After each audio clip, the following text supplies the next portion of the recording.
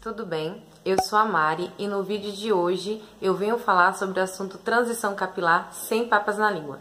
Se você quer saber o que eu vou falar, pode vir. Antes disso, como sempre, não se esqueça, se inscreve no, no canal, deixa um like para ajudar na divulgação e deixe embaixo comentários se você gostou ou não gostou do vídeo. E se você gostou bastante, não esquece de compartilhar. Vamos pro vídeo? Primeiramente, eu quero deixar aqui bem claro que eu não sou profissional de cabelo. Eu fiz o canal com a intenção de mostrar para vocês o processo da minha transição. Eu fui pesquisar na internet o que era a transição, como funcionava a transição capilar, já que eu não sabia de nada. E fiquei um pouco assustada com tudo que eu li. Eu fiquei assustada porque todos os conteúdos que eu lia dava dicas que para mim seria difícil de fazer, de cumprir. Por isso que eu resolvi fazer esse vídeo. Quando eu fazia química no cabelo, é, eu digo que eu vivia em uma ditadura, porque eu sempre tinha que estar tá refazendo minha raiz, como minha raiz aparece com facilidade, então em mês e mês praticamente eu tinha que refazer a química, tinha que cuidar muito do cabelo. Em casa, quando eu lavava, hidratava, é importante estar tá secando né, com o secador para estar tá ativando, para o cabelo estar tá ficando sempre arrumadinho e ativar a química. Então existia uma ditadura. Quando eu comecei a ler os conteúdos sobre transição capilar, eu comecei da minha parte, né, a sentir uma ditadura também. Tudo que era falado não era obrigando em nenhum momento, óbvio que ninguém vai obrigar ninguém a nada, a fazer aquela, aqueles passo a passo. Mas era, foi o que eu mais vi em tudo que eu li. É muito falado que é, o cabelo fica muito sensível na transição, realmente eu tô percebendo isso. E para evitar fazer o, a escova, a chapinha, que acaba quebrando o cabelo, nós sabemos, acaba tirando a forma do cabelo. Então, assim, isso me incomodou muitíssimo, porque eu só tô com cinco meses de transição, como eu falei no vídeo para vocês e já tá bastante complicado. Então imagina eu ter que ir para algum lugar e eu não poder fazer uma escova e uma prancha. Claro que tudo é uma questão de bom senso. Só que a forma que tava, que foi falado, eu fiquei um pouco assim intimidada. Então, eu já vou falando por mim que isso comigo não vai acontecer. Se eu tiver que fazer toda semana escova e prancha, gente, eu vou fazer. Só que eu tenho consciência que eu vou precisar cuidar do meu cabelo. Isso é óbvio.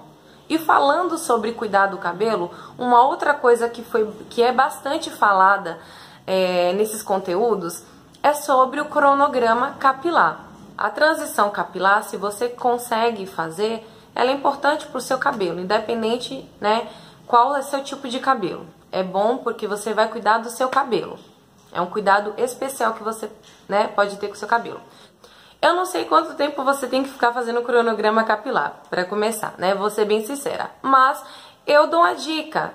Tenta fazer um mês. Eu tô pensando em fazer isso, mas é uma coisa que até o momento eu já tentei fazer quando eu fazia química progressiva, porque eu tinha vontade de cuidar do meu cabelo, mas não consegui fazer. Preguiça, talvez falta de paciência também não fiz. De acordo com o que eu for fazendo, gente, eu vou, vou falando pra vocês. Mas, até o momento, eu não faço transição no cabelo. É, vou indo no meu ritmo de hidratação que eu sei que é preciso fazer no cabelo. Outra coisa que eu vi bastante nos conteúdos que eu li foi sobre finalizações nas pontas que ainda tá né, lisas, ainda que tá com química, fazer finalizações para poder ficar com o cabelo solto, é, sem fazer a chapinha, sem escovar, para ficar tipo o cabelo todo cacheado, né? Gente, outra coisa que eu fiquei bem assim sobre é, esse assunto. Eu, desde que eu me entendo por gente, eu nunca fui uma pessoa de fazer penteados no cabelo. Eu nunca fui uma menina, né, de fazer trança em si própria, sabe? Eu sempre tive dificuldade. O, o, quando eu tinha o cabelo cacheado, é, eu era muito simples. Eu vivia com o cabelo muito preso, porque meu cabelo tinha muito volume, tem muito volume. Então, assim, eu deixava ele rabo de cavalo ou coque. Eu nunca desenvolvi isso em mim.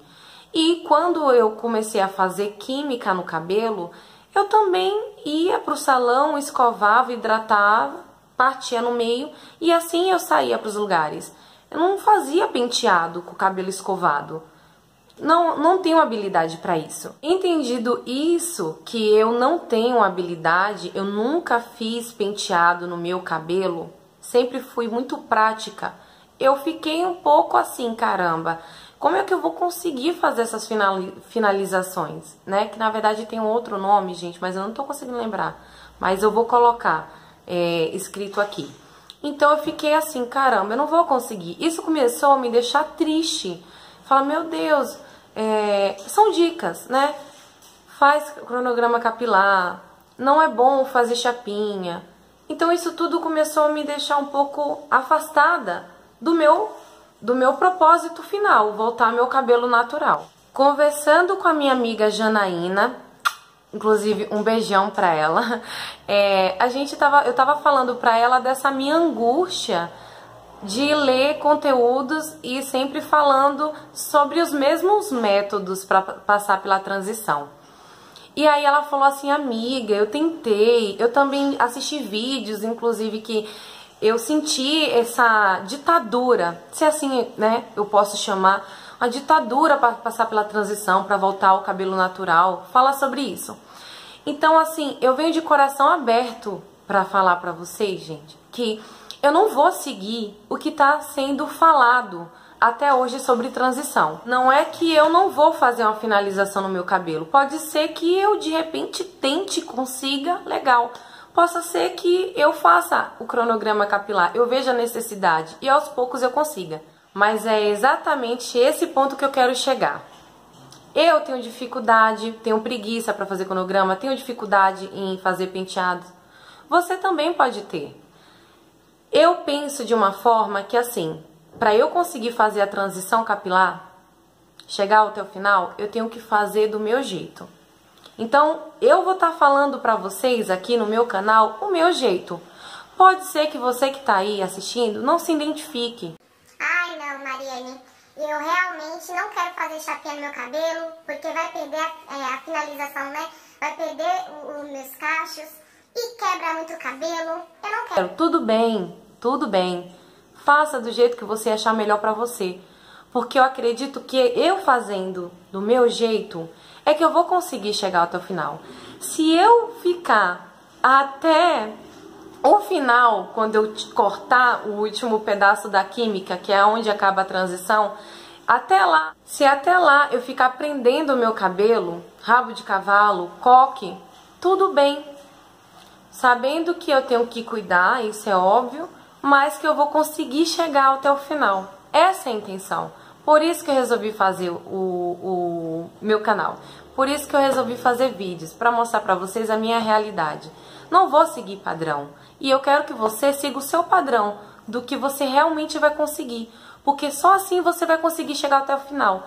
Tantas meninas desistiram, como a minha amiga Janaína, porque viram um certo padrão a ser seguido e que não conseguia, porque é difícil. Por isso, eu, se me der vontade, eu vou escovar meu cabelo, é, eu vou passar chapinha, claro, vou estar tá tendo cuidado a mais com o meu cabelo, porque ele é, tá quebrando com facilidade, já que a metade tá natural e a metade tá com química. Então eu tenho essa noção, vocês têm que ter essa noção. Faça as coisas no tempo de vocês. Se vocês tiverem que fazer o cronograma, né? Você faça tudo no seu tempo, que seja um teste, compre os produtos que der para você comprar Claro que ninguém vai tentar se virar para ficar comprando produto tal, produto tal, porque o cabelo fica bom assim, porque a finalização vai ficar boa assim, porque o cronograma, tudo do seu tempo e eu tô aqui para também ir mostrando o que eu vou conseguindo fazer para vocês, os produtos que eu vou usando, o que deu certo, o que não deu certo. O recado que eu quero deixar para vocês é isso, né? Tô, tô acabando até me re, é, repetindo as coisas várias vezes, mas é porque eu quero deixar essa mensagem para vocês para vocês não desistirem, como muitas meninas fizeram, porque é um período muito difícil, é um momento difícil, né? Mas você fazendo do, no seu tempo, do jeito que você achar melhor, vai dar certo, tá? Eu acredito em você como eu tô acreditando em mim, que nós vamos conseguir. Eu espero que vocês tenham gostado do vídeo. Se você gostou, não esquece de deixar um like para ajudar na divulgação. Se inscreve também no canal, deixa aqui embaixo no comentário se você gostou ou não gostou. E se você gostou bastante, não esquece de compartilhar com as amigas. E no próximo vídeo eu vou ter uma convidada especial falando de um assunto bastante importante. Porta, obrigada! Mas, como eu estava falando, no próximo vídeo eu vou trazer uma convidada especial falando de um assunto muito importante, então não deixem de assistir. Até, a próxima, até o próximo vídeo. Tchau!